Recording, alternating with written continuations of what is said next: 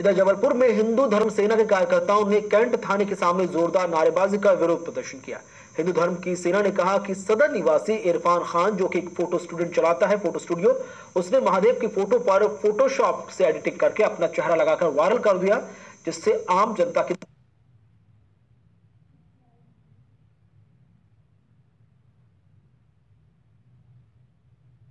धार्मिक भावनाओं को ठेस पहुँची।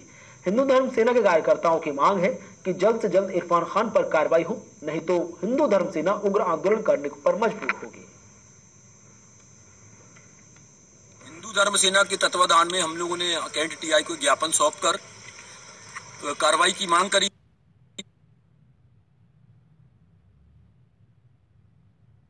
है एक मुस्लिम लड़का सदर निवासी, जो कि फोटोग्राफरी का काम करता है। उसने जो है हिंदू देवता जो अपने पूजनीय शंकर भगवान जो है शंकर